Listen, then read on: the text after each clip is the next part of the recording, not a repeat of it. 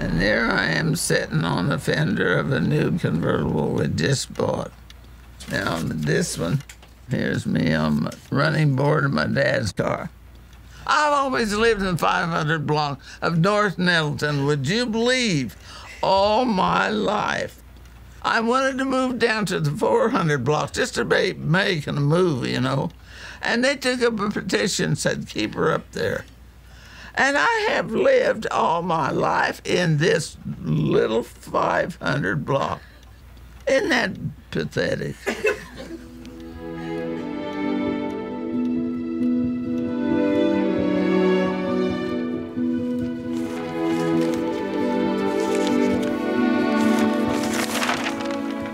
My mother has had an opportunity to experience so many events. She's always had an interest in just about everything. My dad's brother was on this football team. Would you look at it?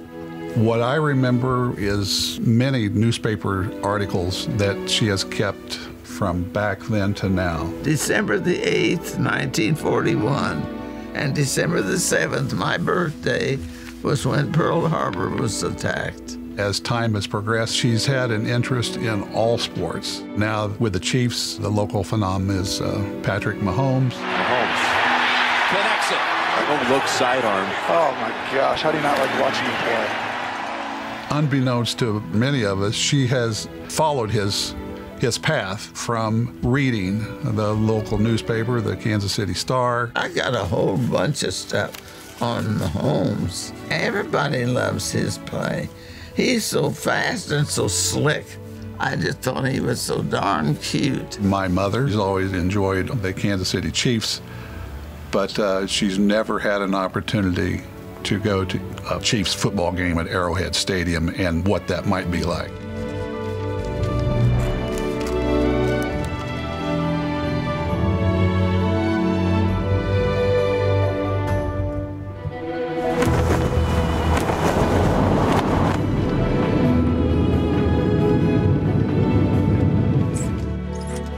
Hi, Mitch. Welcome. Come on in. Come on in. Awesome to be here. Hi, Melba.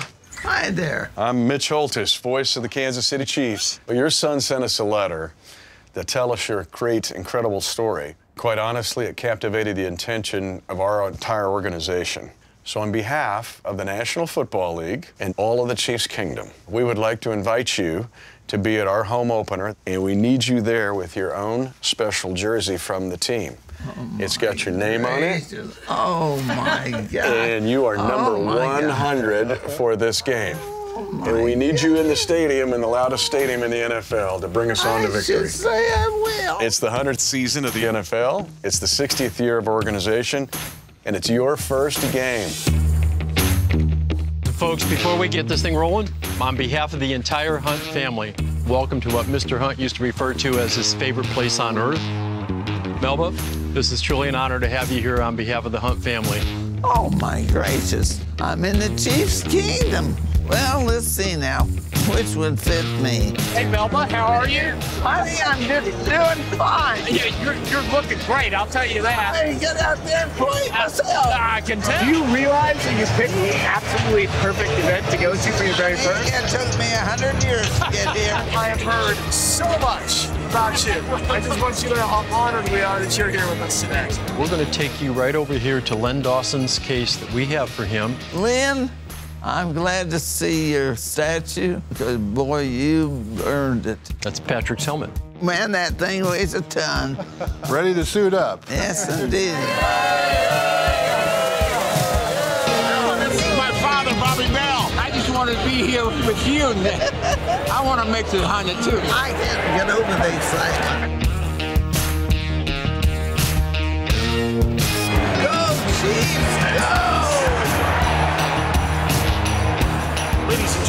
Chiefs are honored to welcome longtime Chiefs fan and Bonner Springs native Melba Mills.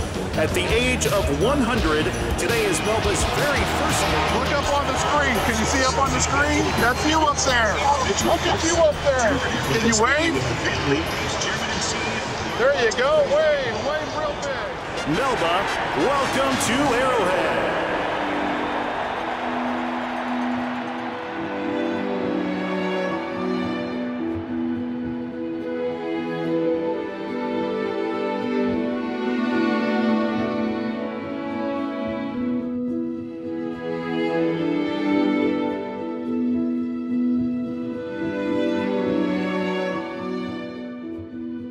I think as this sets in, it will really be something that she truly recognizes as a once in a lifetime event. 100? 100. 100.